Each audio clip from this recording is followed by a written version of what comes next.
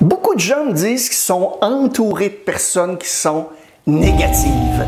Et donc, c'est très difficile de garder une attitude positive ou optimiste. Pas d'achalandage, c'est toujours tranquille comme ça, les gens n'ont pas d'argent. Oh, si c'était à refaire, je travaillerais pas dans la vente, mais aujourd'hui, j'ai plus le choix, je suis trop vieux. Tu vas voir, la vente, c'est très difficile. T'as été chanceux avec ce client-là. Quoi? Tu vas voir le boss pour t'aider avec tes transactions? Allô? Hey, lui, c'est un pas bon. Les clients, c'est tous des menteurs. C'est plus comme c'était la vente. Hein? Avant, c'était facile. Vous vous demandez peut-être, avec ce genre d'attitude, pourquoi on se débarrasse simplement pas de lui?